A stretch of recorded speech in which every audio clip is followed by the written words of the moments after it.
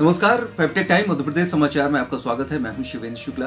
मध्य प्रदेश में वैक्सीनेशन महाअभियान का चौथा चरण एक दिसंबर को था। इसके लिए प्रदेश भर में जगह जगह वैक्सीन लगाई जा रही थी।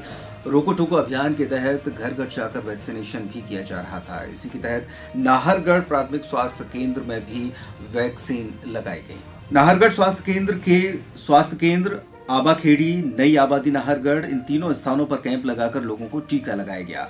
नाहरगढ़ स्वास्थ्य केंद्र को 300 टीके का डोज मिला था। तीनों कैंप मिलाकर 250 लोगों को टीका लगाया गया। वैक्सीनेशन लगातार जारी था। तीसरी लहर आने की आशंका को देखते हुए प्रशासन अलर्ट है और वैक्सीनेशन को लेकर प्रशासन द्वारा रफ्तार बढ़ा दी गई है। कोविशील्ड और कोवैक्सीन दोनों डोज लगाए जा रहे हैं।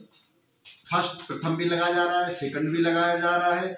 और विशेष रूप से महाअभियान के रूप में यहाँ चलाया जा रहा है, जिसमें नई आबादी नाहरगढ़, आवाखेड़ी और प्रापर नाहरगढ़ तीन टीम कार्य रहते हैं अभी और चल रही हैं। तीनों टीमों को कार्य बराबर चल रहा है और अभी 250 डोज लग चुके हैं। हमको 300 का लक्ष्य दिया है और हम चाह रहे हैं कि फ़ील्ड में और जाकर हम अपना 300 का लक्ष्य पूर्ण कर लेंगे। ऐसे हमें सब कर्मचारियों का पूरा पूरा सहयोग मिल रहा है। हमारी